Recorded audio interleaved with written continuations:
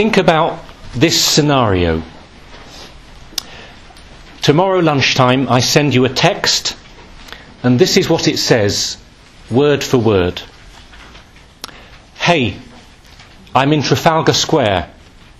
You'll never believe it, but Jesus is here. It's amazing. There are hundreds of people crowded round, but he spends just a few minutes with each person. A word of comfort, a touch, a smile, some encouragement or advice.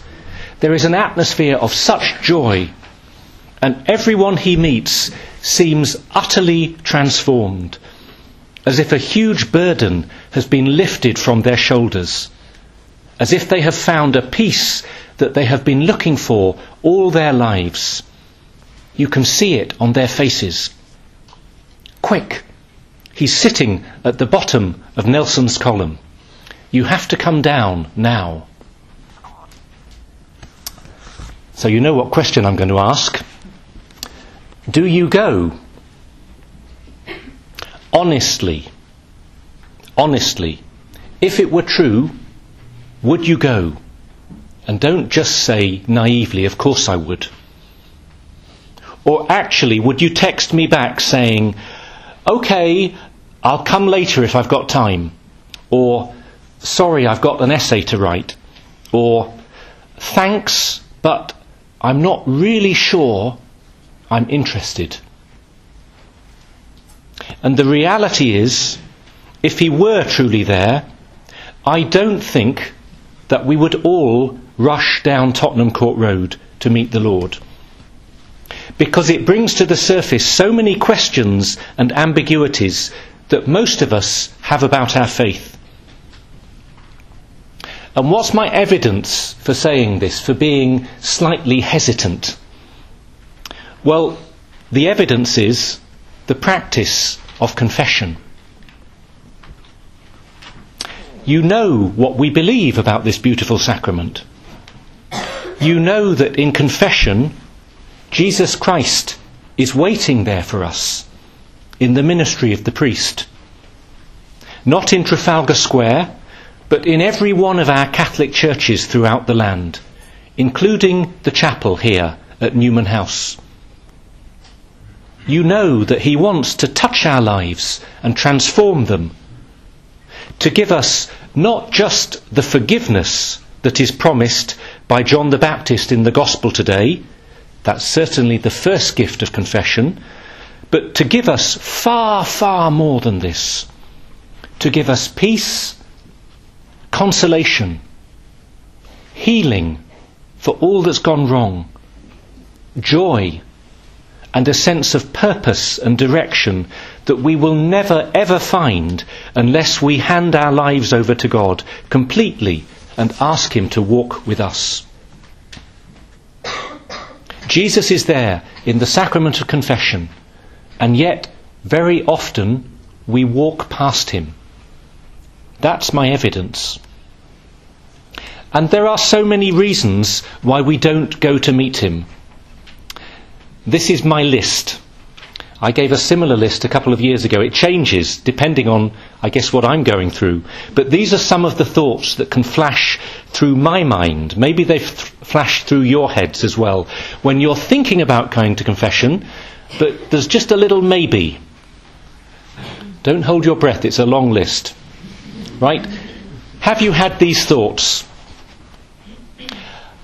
I'm too busy. I'll go next week.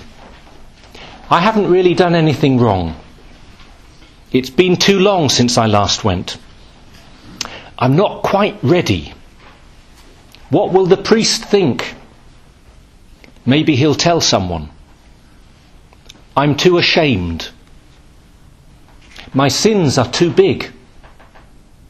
My sins are too small. My sins are unforgivable. My sins are not worth forgiving. What's the point? I keep confessing the same sins and nothing seems to change. I've forgotten how to go. I've forgotten what to say. I'll come back when Father Smith is here instead of Father Jones. I can say sorry to God without going to confession. I'm not sure if I really believe. Now I can feel a tension in the air. You're afraid that I'm going to analyse all 17 reasons on this list and we're going to be here for another three hours. Well, don't worry, I'm not. And I'm not going to analyse them because it probably wouldn't help. There are so many reasons not to go to confession. And if I shot down every single one of them, one by one, carefully, if you really didn't want to go, then you would find an extra one. So instead of analysing, I just want to encourage you. Of course, God forgives us in different ways, and we can pray to Him and ask for His help wherever we are, and we should. But when we're struggling with life, as we all are, with sin, with failure, with confusion, there is no more powerful way for God's love to touch our hearts than by going to confession. Jesus says, Come to me, all you who labour and are overburdened, and I will give you rest. He wants us to be free. Or as St. John Paul II wisely pointed out in a different way, to quote, the worst prison would be a closed heart. The worst prison would be a closed heart. And what he wants in confession is for our hearts to be set free. Or again, Jesus says elsewhere in the scriptures, I have come so that you may have life and have it to the full. How often do we feel that something is missing from life? We long for peace and a new sense of purpose. And we can only find this if we truly hand our lives over to God. If we stop pretending that we can solve everything by ourselves. If we let His mercy touch our hearts. And this is what happens every time we come to confession. What better way to begin the year of mercy this week than to let God's mercy touch our own lives so that we can get on with the real work then of sharing His mercy with others? So don't be afraid. Don't get too complicated. Just believe that God wants to bless you in this way and make a decision to come. In that sense, it's easy. Be brave. Pray for God's help. Spend a few minutes in preparation. We'll give you a sheet after Mass as you leave to help you. And then just come. The priest will help you with everything else. Some things you can't understand unless you've experienced them. Trust me when I say that coming to confession will change your life. You won't regret it. Let me finish with two testimonies. The first is my own. I made my first confession when I was 19 years old because I wasn't brought up a Catholic. So I was received into the church and did my first confession and first communion when I was 19, just before going to university. It wasn't easy. Now, don't worry, I'm not going to tell you my sins, but let me just say it wasn't easy. There was a lot of stuff piled up by that stage in my life. And to be honest, I didn't feel much consolation afterwards. I knew I'd done the right thing, and I knew in my head that I was at peace with God. And that was a kind of consolation. But it was hard. But over the weeks and the months and the years, just as you come to know someone gradually over time, I have come to know the power and the beauty of the sacrament. Sometimes, for me, there have been small, unexpected graces given to me. A word or a prayer that has helped me through the week in a simple way. Sometimes there have been personal crises, big ones, and I have been absolutely desperate to put things right in confession. And I've rushed there as soon as I could. And the sense of relief and gratitude afterwards has been indescribable.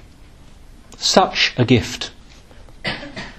And nearly always I've received a quiet sense of peace and consolation, the strength to move forward, and the knowledge that God is with me, hearing His promise and His reassurance. That's my experience. But the second testimony is from a young woman, your age, who came on a retreat earlier this year that I was helping at. Now, this isn't confidential. She posted it online on a feedback page in March, so I'll take the risk of reading it to you. Let me finish with her testimony, and I'm reading this word for word. She says, I experienced something so wonderful this weekend. I was at a reconciliation and healing service. Confession was going on around the room. Now, I hadn't been to confession for a number of years because of fear of what the priest and Jesus would think of me. I wanted to overcome that fear, so I made the brave decision to go to confession. Over the years, I have always tried to be perfect, but I was reminded in confession of the words of Jesus. I came not to call the virtuous, but sinners. This is Jesus' way of saying to me, I don't expect you to be perfect. I felt Jesus speak to my heart, and he said, I love you and I forgive you. Go in peace. When I came out, I felt like the world had been lifted off my shoulders. That is how God speaks to your heart. All we have to do is listen.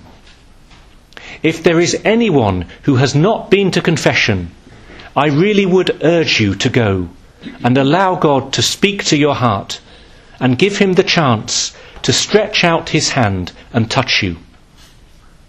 And she finishes I was afraid, but I'm not anymore.